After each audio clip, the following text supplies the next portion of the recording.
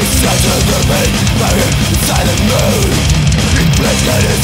with memories It's got that in this room.